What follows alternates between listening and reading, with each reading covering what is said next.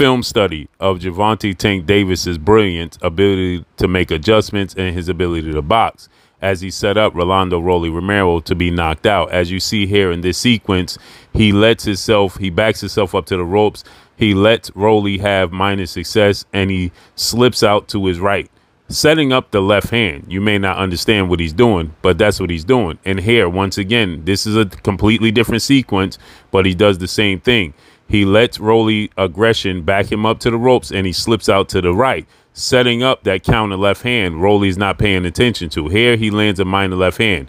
And here we're going to see another sequence where he's going to do the same exact thing. He's setting up and setting up. He man, he lands a left hand there, but here comes the big doozy. He here we go.